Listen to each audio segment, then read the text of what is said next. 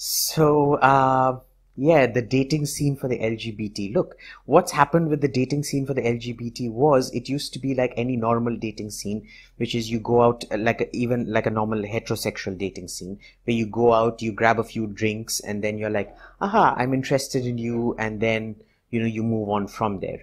Uh, the problem is when things like uh, Tinder and Grindr and all of that come in, it's a very deeply impersonal experience. You know, you go to the bar uh, you don't go to the bar anymore. You go to Grindr or Tinder instead, and you pick and choose what you like.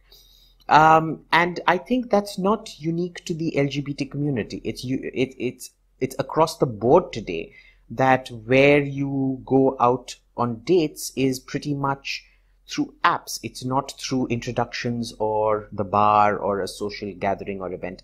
That also happens, but it's much rarer these days.